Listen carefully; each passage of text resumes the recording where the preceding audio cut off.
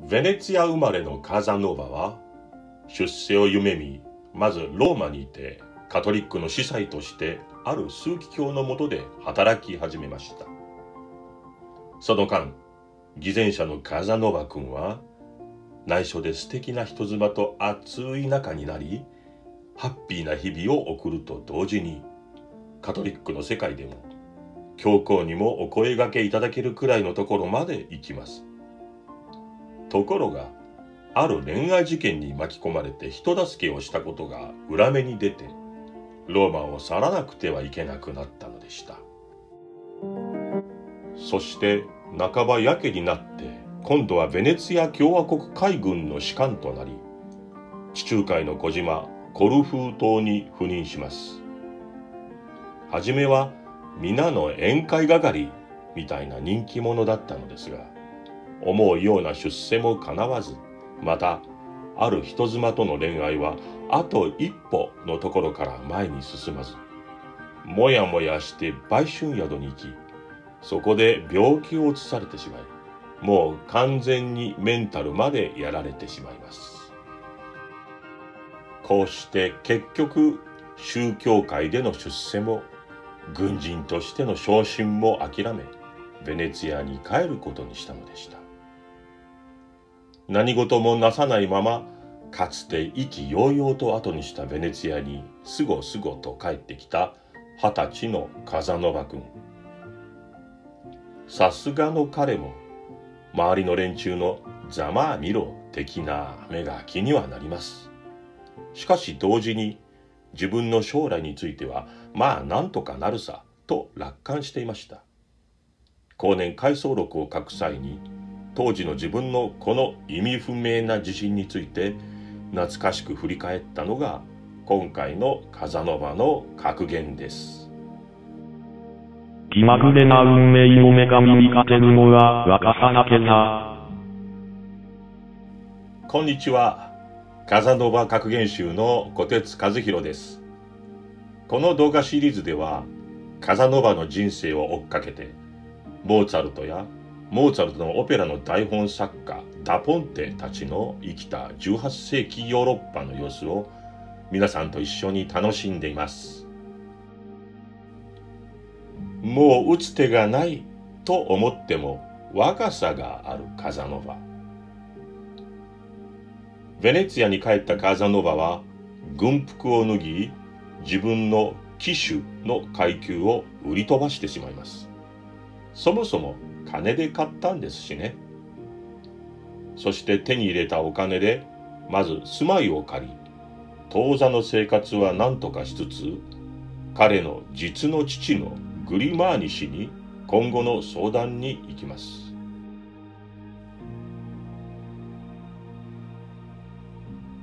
前にもお話しした通りカザノーバの戸籍上の父は役者です。その人はカザノーバが幼い頃に若くして亡くなっています。またやはり役者の母はすでにドレスデンに住んでいます。そこにパトロンがいるんでしょうね。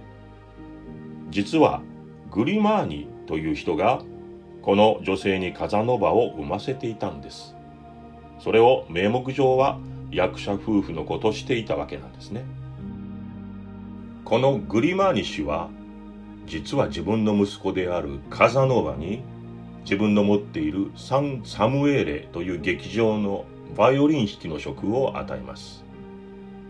カザノバは少年時代まあそこそこ弾ける程度には習っていたんですね。こうしてカザノバは決して見入りの多くない芝居小屋の楽団員に落ちぶれてしまいました。かつては将来有望な司祭でありその後は軍の士官だった彼としては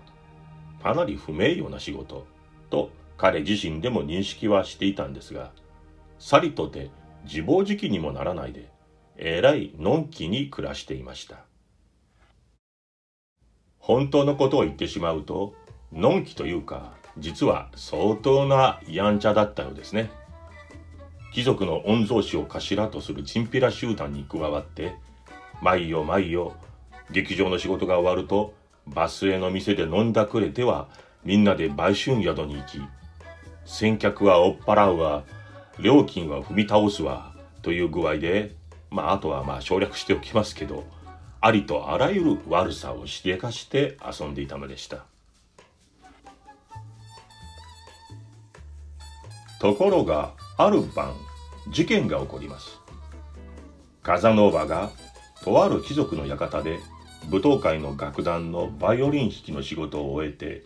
帰りの夜道を歩いていると、一人の老貴族が顔を引きつらせて苦しそうにしているではありませんか。風野はとっさに介抱し、手際よくこの貴族をその館まで連れて帰ります。その後、奇跡的に回復した貴族がカザノーバに感謝すると、カザノーバはその場の勢いでシャーシャーと、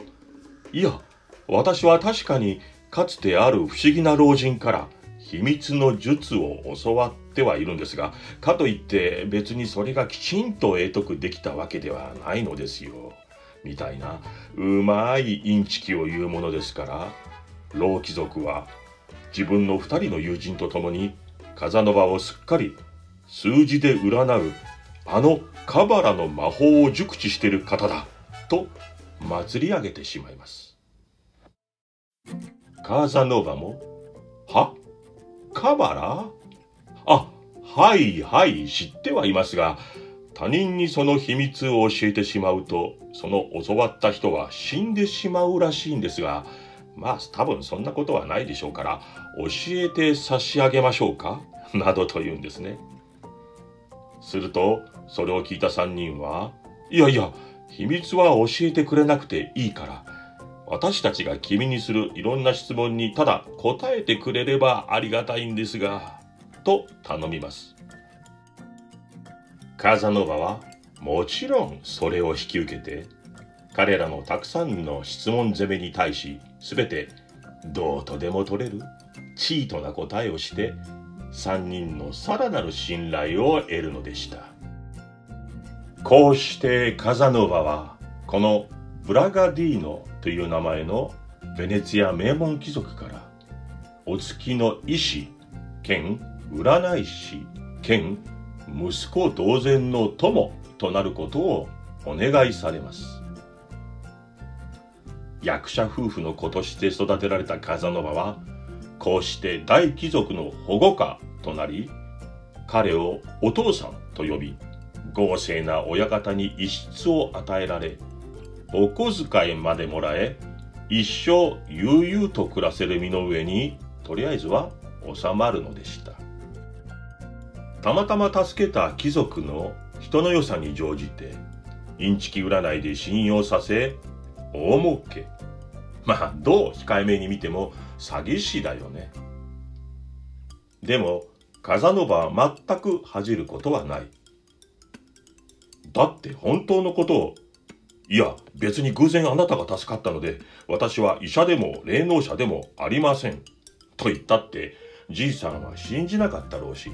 第一、これで彼も私も両方満足したわけだ。